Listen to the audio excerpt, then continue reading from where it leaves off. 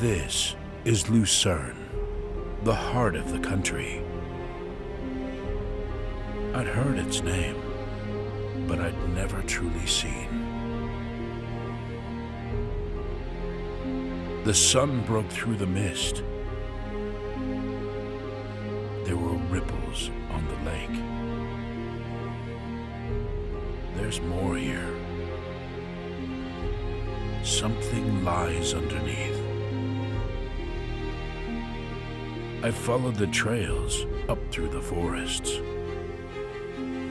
then down to the city on the shore, where stories mark the walls, spilling out the color on the stone. There's no containing these free spirits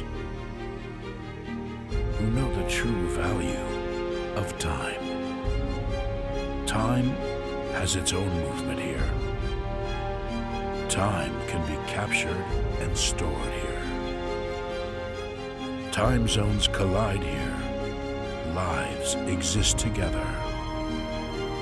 Time here reflects the light around us, making us all shine. Here, time is truly individual. And to be truly individual is priceless.